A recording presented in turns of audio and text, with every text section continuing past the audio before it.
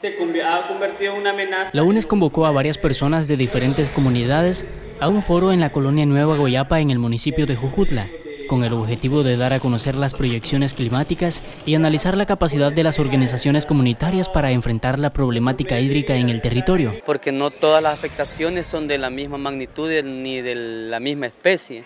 Para las personas asistentes al evento es muy importante conocer el cambio climático y presentar propuestas que ayuden considerablemente al momento de un desastre en el invierno. Esperamos que el Ministerio eh, nos traiga la información cómo puede hacer, la, cómo hacer el comportamiento del invierno. La zona costera es la más afectada y en años anteriores su organización comunitaria estuvo pendiente ante cualquier situación de emergencia que pudiera suceder. La Unidad Ecológica Salvadoreña promueve lo que es la gestión ecológica de riesgo, que son acciones basadas en la protección ambiental para prevenir los desastres. Con respecto a los enfoques preventivos, consideran que es muy importante ponerlo en marcha y no solamente atender emergencias cuando los desastres ya son evidentes. La agenda es desarrollada por personal del Ministerio de Medio Ambiente y Recursos Naturales en base a los estudios que realizan para darlo a conocer a las personas.